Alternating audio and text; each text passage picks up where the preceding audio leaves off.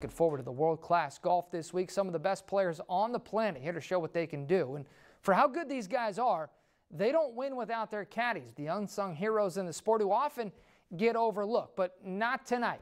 Not at the lights at Indio, where they got together for some birdies and beverages.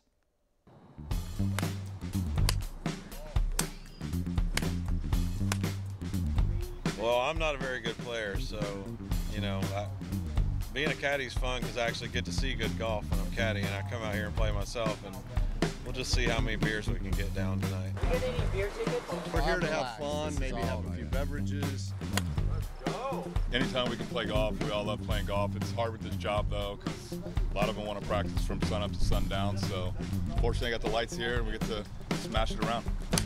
And we don't get to do this too often. The caddy gig is pretty cool. You know, as a former player, I represented caddies as best I could. You do hope it on your show. out, yeah. You do it on your show all the time. They're, they are a team, and if They they, aren't a team, me. you're you're you're a lonely player now on the PGA right. Tour if you try to do it all alone.